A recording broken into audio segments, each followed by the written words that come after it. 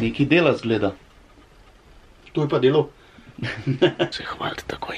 Kaj znam so pa tu, zadaj pa to je še dol. Je nekaj, kar nekaj, izpuh. Ne, sem tle zadnji so čist preveliki lonci na tetanovi. Mogo zamenjati, koliko jaz, bi bil zvok ulala.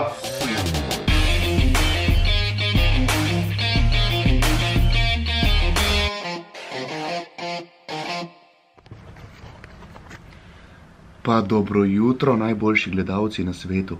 Upam, da boste uživali v vlogu, pa en lep vikend vam želim.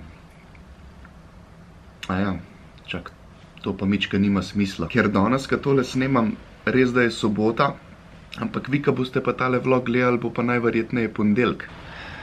No, pol pa upam, da ste imeli en lep vikend, pa vam želim en lep pa uspešen teden. Danes, tako kot sem redko, redko, tako kot je bil, danes, tako kot sem rekel, je sobota, jaz lih žlempam tale jutranji kofe. Vreme imamo pa kar ne, skoraj ne bi mogel biti boljš.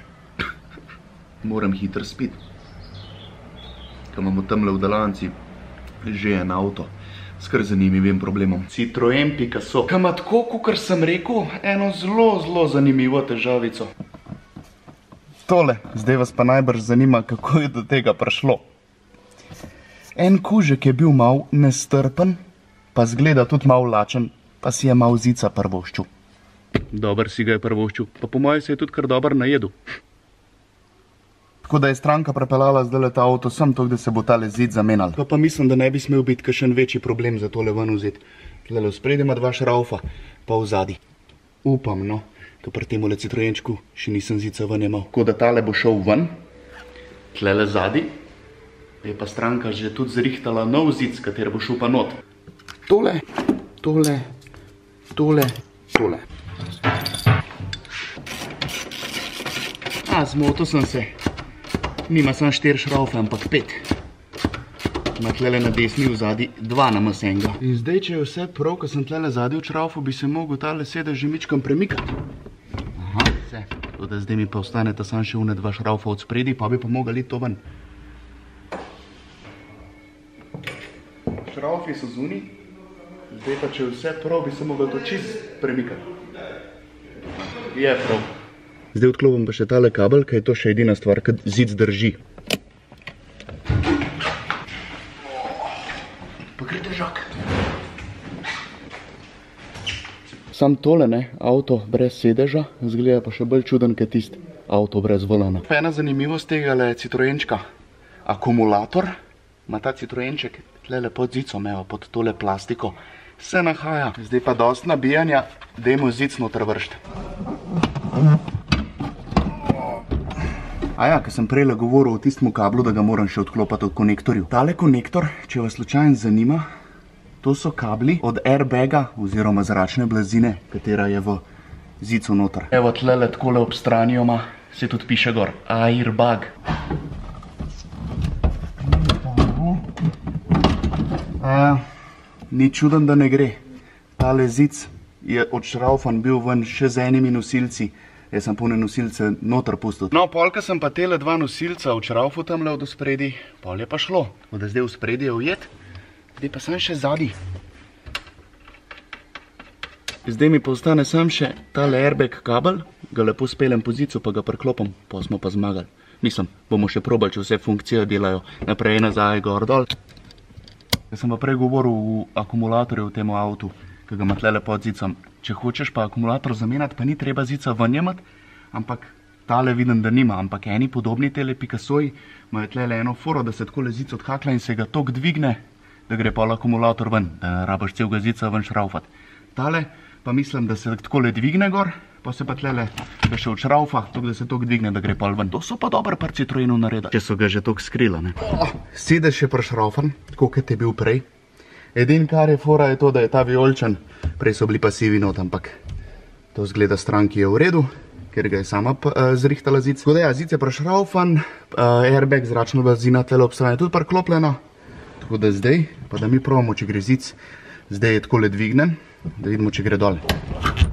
Evo ga, zic gre dol, prva stvar že dela, zdaj pa še naprej pa nazaj. Naprej gre, nazaj pa tudi. Zdaj je pa treba še eno stvar probati. Glede na to, da sem odklapljal airbage, kdaj, če se airbage odklop, se lahko lučka na števcu pržge za airbag in ta pa naprej gori. In je treba dati na tester, pa pobrisati napake, katere je računalnik dobil med tem, ko sem, naprimer, odklopil konektor, je on zaznal, je odklopljen konektor, misli, da je napaka in zazna in lučko pržge. Tako da bo zdaj le treba pogledati, če v tem mojem primeru se tudi pržgala. Če, če ugasne po parih sekundah, je v redu, če pa še naprej gorela, treba pa računalnik vzeti tester, pa malo natipkati, pa zbrisati pa napako, katero je računalnik dobil. Ja, vem, malo zakompliciran, ampak upam, da, da ste razumeli. Evo, zdaj le lučka gori, to je tale tlele. Evo, ugasnila se je, zdaj bomo pa počakali še par sekund, da vidimo, če se nazaj pržge. Ni se nazaj pržgala, tako da tudi na tester ne bo treba dajati. Jaz mislim, da je to to, da smo zrihtali. Evo pa se bo lahko stranka spet normalno vozila. To pa zdaj mičkan bolj zgleda, ne? S tistim zicom se pa tudi ne more osno. Še en citroenček. Gleda bom danes en citroene delo. Citroen Berlingo, ki ima pa za nič akumulator. Kar se tudi vidi, da sem mogel en drug akumulator, ki je v dobrem stanju, preklopiti gor, tako da je sploh užgal, da sem ga lahko not zapeljal. Ni bila pa že dolg kakšna baterija, tok za nič, kar je tale pri temu Berlingotu. Ker ko sem na polnilc preklopil, ka ponovadi pol avto užge, če je prazna baterija s polnilcem, tale ni hotel, on se ne da, ne jebe. Tako da ja, nobene znanosti, akumulator zamenjati, pol pa bo. Imajo pa tele malo novejši Citroeni, malo zoparen za zamenjati. Nisem zoparen, v bistvu je še zmer dost simpel, ampak malo več kablov imajo, kukar ponovati akumulatorji, ponovati. Dve kleme včeravaš pa tis nosilc dol, pa gre akumulator ven. Pri tehle imaš pa še mičkan več dela, kaj je malo več robe tlele gor na akumulatorju, pa kablov, pa tega. Zdaj gre pa še tale plastika dol, ki je tlele zahakljena, se je odhakla, pa se jo pa sam gor potegne. A pa še tle v spodje je zahakljena, evo. To je to. In zdaj, ko so vsi tele kabli dol pobrani, gre pa tale plastika, ki je čez akumulator ven. Zdaj pa, ki je tale plastika oziroma v hišje dol, se pa normalno pride tudi, če se, do, če se bo kaj videl na fotoaparatu, do minus kleme. Ka prej je ta nosilc pride lih čez minus klemo in ne moraš več raufati. Tako da moraš to nujno dol vzeti. No, itak moraš dol vzeti v hišje, če hočeš akumulator sploh ven potegniti. Ok, minus klema je dol. Zdaj nam pa ostane ša, sam še ena stvar, to je pa tisle nosilček tamle v spodi, ki se ga očraufa, tako da gre akumulator lahko sploh ven. Pač nosilček, ki drži akumulator, tako da se ne premika med vožnjo. Evo ga. Spet ta luč, spet ta luč. Jebem ti luči. V glavnem, evo ga. Tole je tale nosilček. In zdaj, če je vse prav, bi mogel tale akumulator iti ven. ven iz avta, pa direkt v kanto. Mislim, ne v navadno kanto, ker to se ne sme baterijo v navadno kanto metati, ampak v ta pravo kanto. Za akumulatorje. Evo ga, zdaj imamo pa tle leži noga. Topla. Treba podpirati slovenske proizvajalce, kaj ne da? Kovlit. In to je vsa znanost. Italijanka govori angliško, bi rekel, like a new car, like a new car. Allora. Zdaj moram pa še uro nastaviti, ker se akumulator odklop, zgubi spomin, tako da se zgubijo postaje na radiju, pa če imaš recimo shranjene 1, 2, 3, 4, 5, 6, pa ura pa datum, še mesec 11. Evo. In to je to. Ok, citroenčke smo podelali, zdaj imamo pa tlele še en zanimiv avto. Gasilski Mercedes, ki mu ventilator ne dela trenutno ga Ati rihta, pa pojmo pogledati, kva dela. Kaj dela ventilator? Stikalo je za nič, tako da bomo zdaj sam začasno zrihtali, tako da gasilcev ne bo zebel čez zimo. Drugače me pa gasilčki kar dobro zrihtan tale Mercedes. Tlele v zadnji za tri za sedet. Tlele nekaj robe malo svetilk. Dihalni aparati. Kisik za uživanje. Volan pa večji, kukar pri mojem Subaruju Madonna cela guma. Neki dela zgleda. To je pa delo. Se hvalite takoj. Tole zgleda začasen šalter. Važen, da dela, polka bojo pa gasilci zrihtali. Original šalter se ga bo pa zamenjal. Sit s hajcem.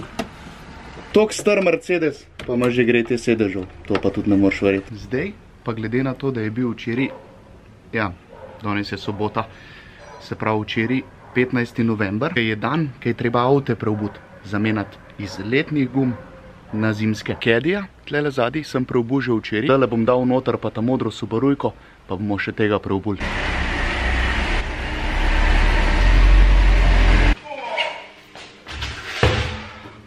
Zdaj pa Subarujka ne bo več tako lepa, kot je bila z letnimi gumami. Zaradi tega, ker na zimskih gumah imamo tele original feltne, ki so prišli le z avtom. Tele ta črne. Mislim, se feltne so lepe k pes. Sam po mojem mnenju ne pašejo tok na tole modro barvo, kot pa tele zlate feltne. Mislim, se avto ne bo grd. Sam s temi feltnami je bil malo lepši. Če ne drugega, že zaradi tega, ker Subarujeve zaščitne barve so modra pa zlata. In že zaradi tega dosti bolj paše. Pa še to, tele so 18 solske, tele so pa 19. In itak več veltna je bolj zgledane.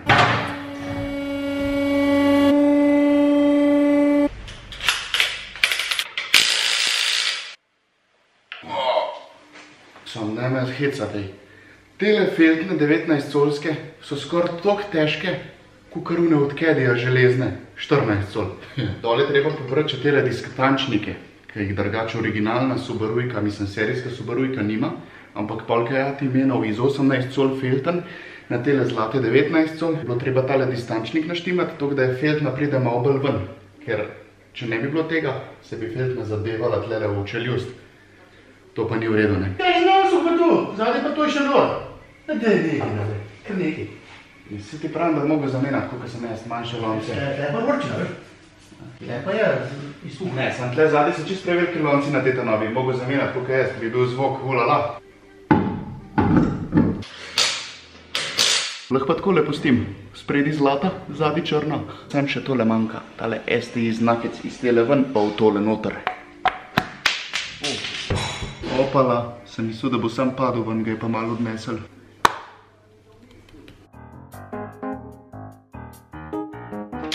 Še z moment ključev zategnem, pa je pa to to.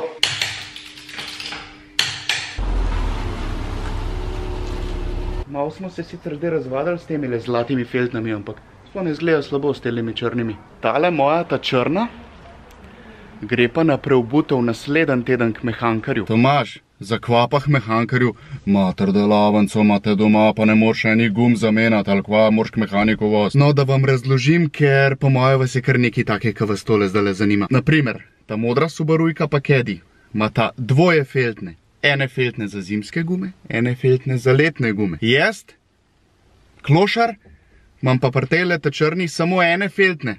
Moram ene nujno kupiti lik zaradi tega, da bom imel dvoje in da bom lahko imel pol ene na zimskih, ene na letnih. Zdaj imam pa samo ene in moram pol vedno, ko se gume mena tudi feltne, preložiti iz letnih oziroma iz, ja, v tem primeru iz letnih na zimske. Tako da zato moram k mehankarju pelati, ker mi smo pa avtoelektričari, pa nimamo naprave za premontiranje gum, pa ta druge naprave za centriranje gum. Tako da mi ne prostane drugega, kada k mehankarju pelem. Če bi pa imel dvoje feltne, bi pa seveda jih doma zamenil, kot sem pri Subarujki ali pa pri Kediju. Za danes je to to, jaz mislim, sem že kar dosti posnel. Se pa ta teden še enkrat vidimo. Mislim, ta teden, zdaj, ko snemam, ne, ker itak sam še ne dela.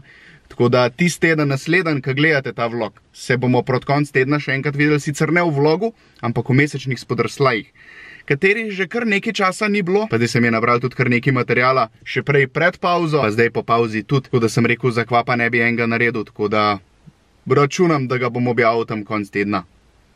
Najverjetneje za vikend. Tako da se takrat spet vidimo. Lepo se mejte. Čau.